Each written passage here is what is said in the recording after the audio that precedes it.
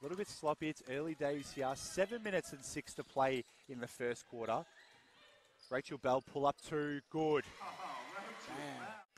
Going to set up a bit of an isolation here. Wants a screen from Beckley. Not going to use it. Goes left, straight through the middle, and one. Rachel Bell.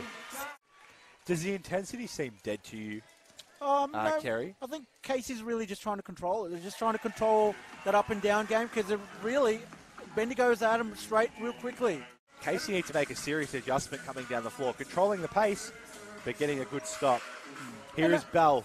There's Bell there with a shot. Great. Long two on the lean back. Now this might be the change. The Braves controlling this game at every angle. Bell spinning, turning. Too good. Rachel Bell. Put that in the highlight reel, NBL one. Now Nightingale. Bell here through the middle. Got it left. Step through. Good. Bam. Someone stop this woman. My apologies. McLean. Cassidy McLean for three. Rachel Bell got free from Atwell. Pro hop through. Right hand finish. Great finish. Jeez, Rachel Bell just dominating. Similar style shooters, so Yeah. yes, I can understand why. She has 15 for the night as well. Yeah. Out of the corner, Gilliam. Three ball catch and shoot. Bam. Bottom of the cup. Now to Bell.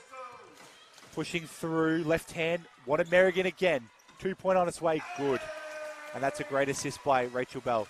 From behind, Nightingale. We're on transition to American's hands. Now she's heating Ball up. is in Rachel Bell's hands. There we go. Looking for long three. Bang! Rachel Bell! Doesn't pull up. Goes to takes it on. Now pulls up and has to pick up that dribble. Bell, pull up two. Wow. Wowzers, Rachel Bell.